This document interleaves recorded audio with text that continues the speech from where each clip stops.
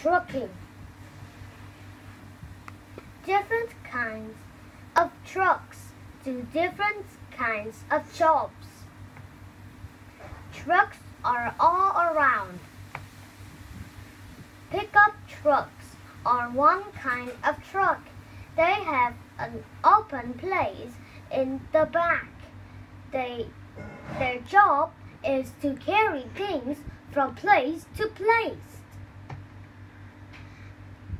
Tow trucks are another kind of truck. They do a special job. They pull other cars and trucks. Del- delivery trucks also are a kind of truck. They have a closed place in the back.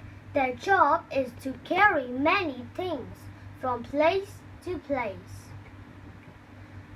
Flatbed trucks have a job too. They have a flat place in the back. They can carry big things. Fire trucks are a special kind of truck. They carry firefighters to fires. Garbage trucks are another kind of truck.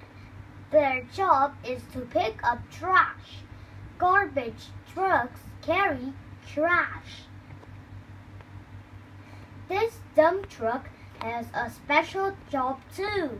It carries heavy rocks. It dumps the rocks in another place.